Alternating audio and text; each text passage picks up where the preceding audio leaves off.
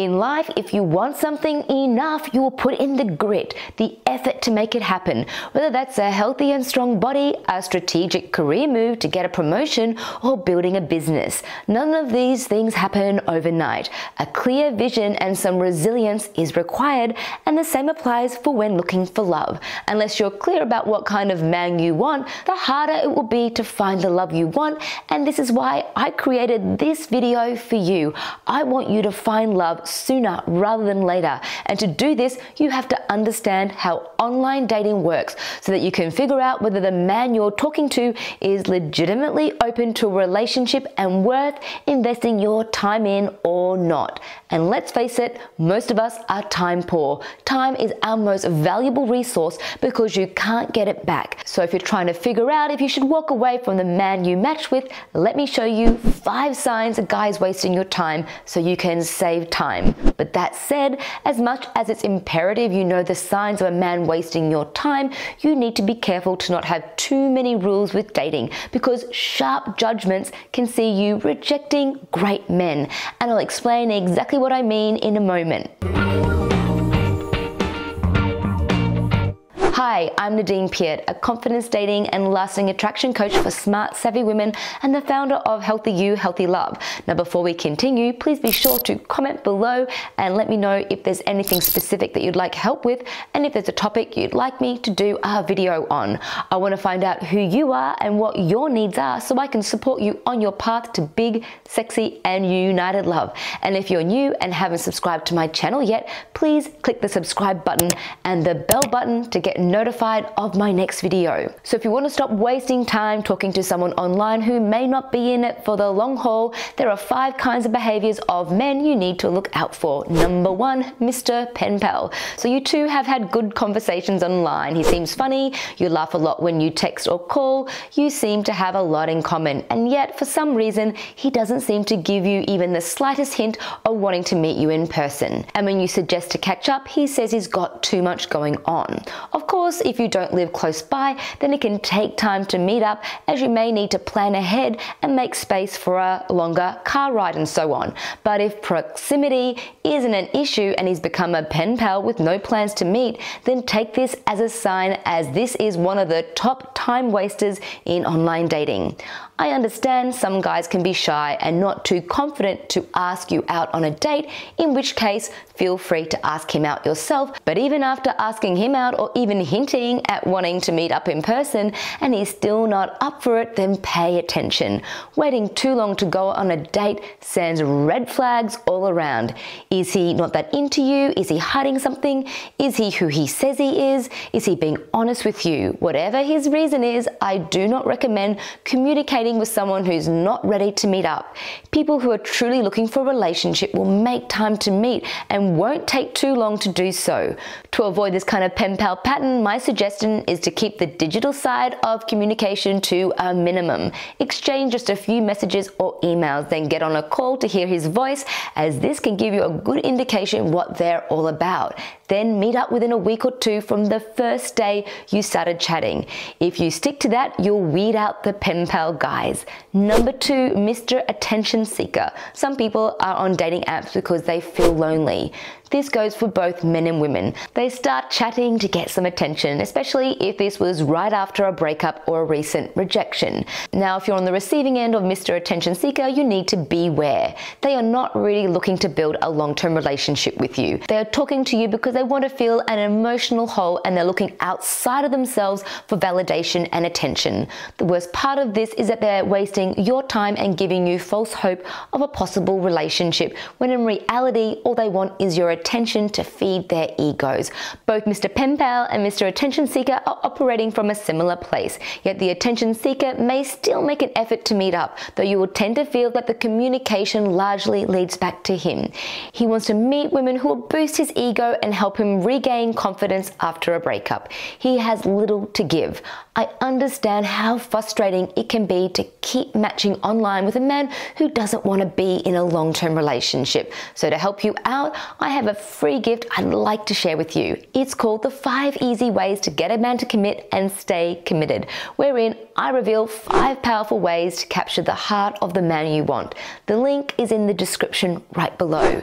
Now to number 3, Mr. Vague and Mysterious. In the movies, often the brooding and mysterious man is portrayed as the one to catch because apparently these mysterious traits make him all that more attractive, sexy even.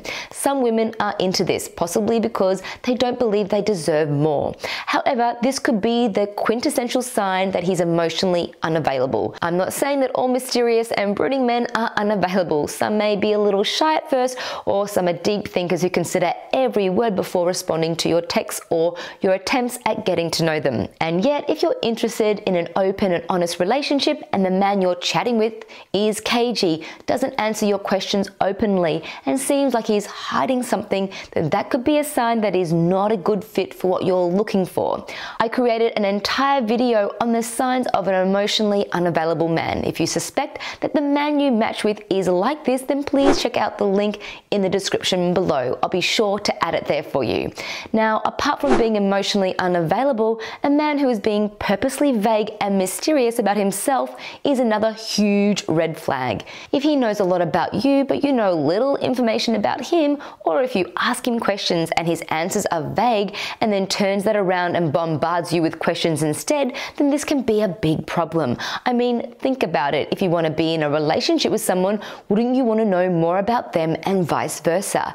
And if that were the case, then why is he not sharing pertinent information about himself?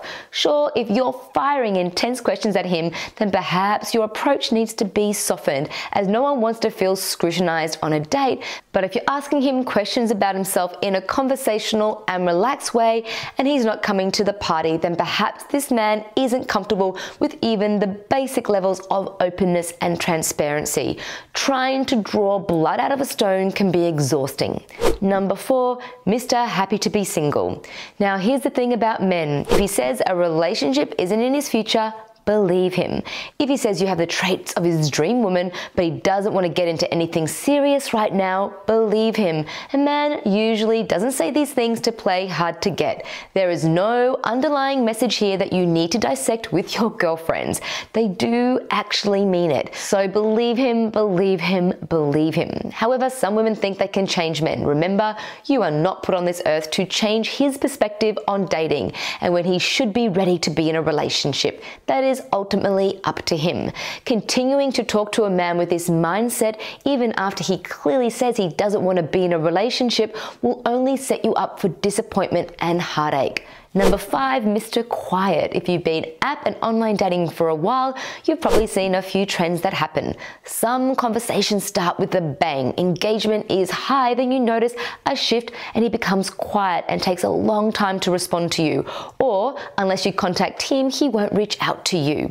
No need to worry about this, it happens. Maybe he started to chat with someone else and he's a bit torn, so he's taking a breather. Or he's got his kids that week and Tinder has taken a back seat. Rather than taking this personally, just let it be. Yes, you can check in on him, but if you don't hear back, it means nothing. You don't know him and he doesn't know you, so move on. And then there are the guys who are just quiet in personality, really not the talker type. Again, this isn't about you or whether you said anything wrong. It's just his personality.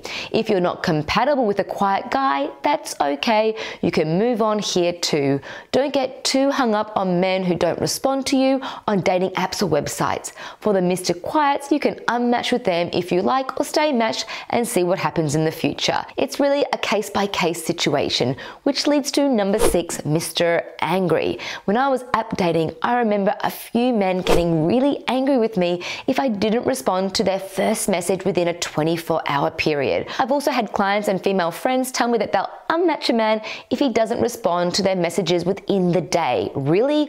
I call bullshit. I call pressure. I call assumptions. I call too many rules. If a man gets pissed with you for taking too long to respond, then this is not okay. Let him go. It's an ego response, and this man has huge expectations around digital dating that's unrealistic.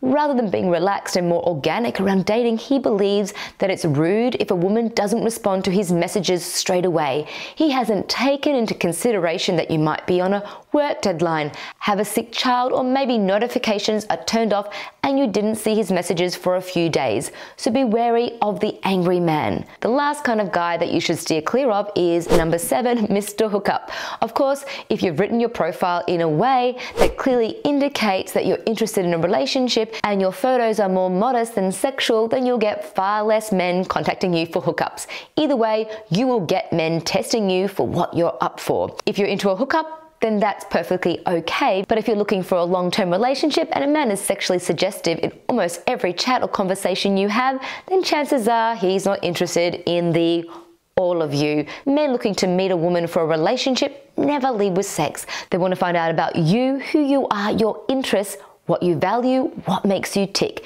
It's important you know what you want so that you can side the men who are only up for a good time. So there you have it seven signs the guy you've met online or via an app is wasting your precious time. There is no point getting down about these kind of interactions or judging them as bad. Many people do find love online, so all you need to do is graciously move away from men who are currently not looking for what you're looking for so that you can meet the one who is.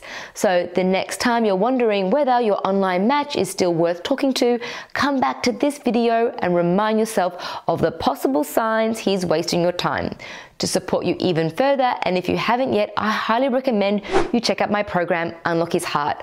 I reveal some very specific tips to help you navigate communicating with men during the early stages of connecting and dating.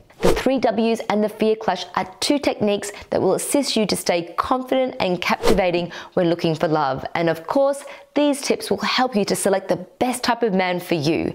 Dating isn't always easy, though this program makes dating attraction and partner selection much easier and even enjoyable. The link to my Unlock His Heart program is right below in the description. Well, that's it for today's video. If you haven't yet, please subscribe, click that bell button, comment, and give this video the thumbs up. And please share it with a friend who needs help figuring out whether the man they're matched with online is wasting their time or not. It's been an honor to have you here with me.